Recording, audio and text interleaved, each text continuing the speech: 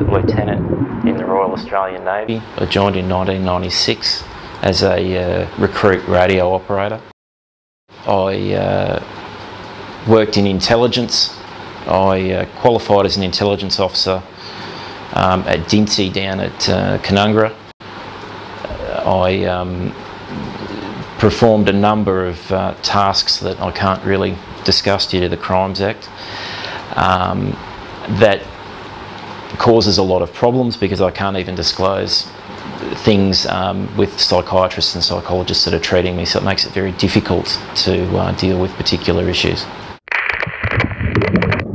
Life as a seaman officer and a seaman officer trainee is tough. There's no no two ways around it, and your superiors can be pretty hard on you, and that's normal. You would expect that. You would expect them to raise their voice when they're not happy with you. All that sort of that's fine. There's no issue with that. But um, when I was on on board submarine, I was uh, sexually abused as part of a um, an induction ritual, I suppose you would call it. Um, I wouldn't call it hazing, but um, you know, I attempted to report it to my superiors, and my superiors told me directly that it was I was to put up with it and to shut up. It was part of being an officer in submarines. That's it. You put up with it, and it was fairly dramatic. Is probably the best way to describe it. Um, further on from that, um, when I was aboard uh, a particular vessel, I was uh, doing a set of officer of the watch manoeuvres and uh, the particular commanding officer wasn't happy with my conduct and struck me on the back of the head with a roller ruler which weighs about three kilos and it's made of solid brass. Um, I received seven stitches for that effort and my jaw is out of alignment because of it. I served until 2007. I saw active service in East Timor um, during the United Nations peacekeeping effort in uh, 2000 and I saw service in the Middle East as part of Operation Slipper. I did receive payment for um, speaking um, Arabic and Persian, or Farsi, the language it's called, uh, whilst I was in the Persian Gulf. This stemmed from, um, it was on my personal file that I could speak Arabic. I learnt Tetum when I was in East Timor, and both in East Timor and in the Persian Gulf, I uh, performed duties ashore as well as at sea, which is unusual for a naval officer. Um, as a seaman officer, my primary role is on the bridge of a warship. However, because I was the only one in the task group at the time that was qualified in that I was fluent and that I'd taught myself Persian in six weeks, I was required to do other things ashore. Um, and also I was required to speak to foreign captains of uh, Iranian and Arabic vessels. I was also required to issue official warnings in Arabic and Persian that we were going to engage those vessels. On one particular occasion, I was the only one that could speak Arabic and we were about to engage an unarmed civilian vessel.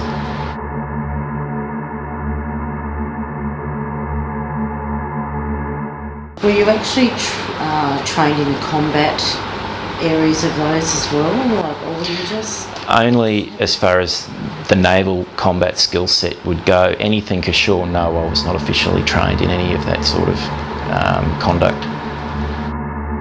Witnessed active service for sure, yes.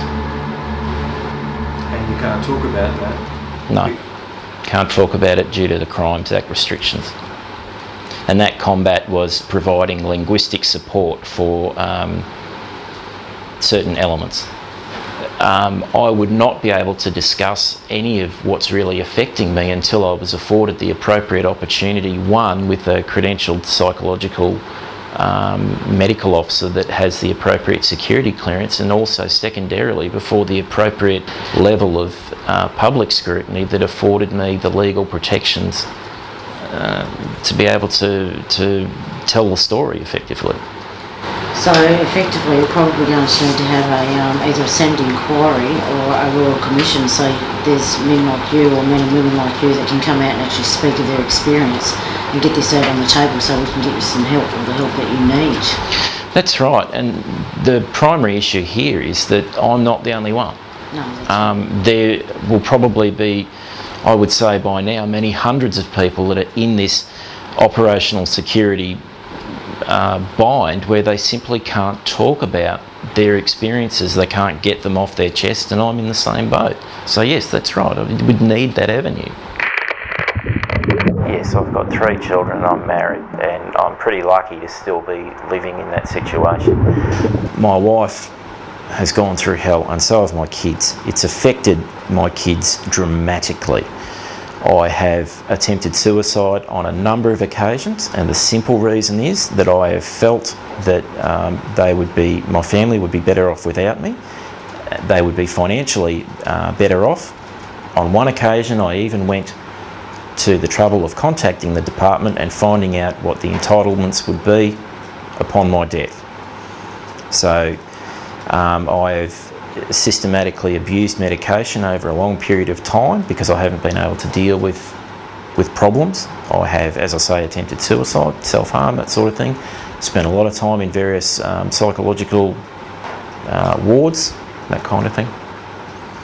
Since 2007, when you received a medical discharge, has your treatment been under Veterans Affairs? Okay, it's been a long road with DVA.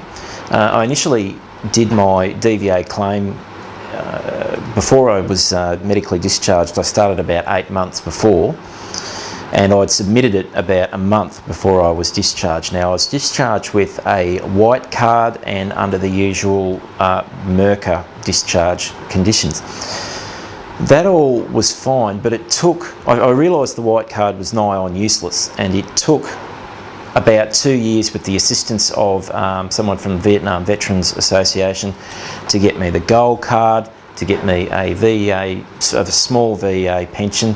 But the situation now is that I have three separate income streams and I'm consistently having to leap through administrative hoops, medical hoops all of the time as part of the MRCA INCAP regulations and the MSBS regulations. I have to have constant medical reviews and this really exacerbates my psychological condition because I am constantly paranoid of what DVA is going to do. And they, DVA would contact me probably on a fortnightly, maybe a monthly basis with seemingly unusual questions that unfortunately, because my mind's the way it is, I'm wondering what are they up to. My main problem has really come up when I've applied for TPI and this alone clause. So effectively, because I have three separate claims under three separate areas of legislation, that prohibits me because of the alone and in, it, in of itself clause in the VA, I can't have a TPI. Yet, I can't work, I can't study, I'm lucky if I sleep four hours a night, I don't do anything through the day. It's this constant problem and I had hoped that TPI would solve it, solve it but that's not the case. It's actually aggravated. Uh, what message do you have for the Prime Minister and the Veterans Affairs Minister, Michael Ronaldson?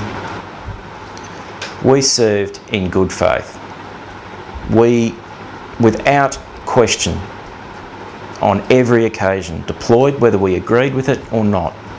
We followed orders. We did exactly what we were told to in arduous, difficult conditions that were very, very dangerous and very mentally taxing, often without complaint.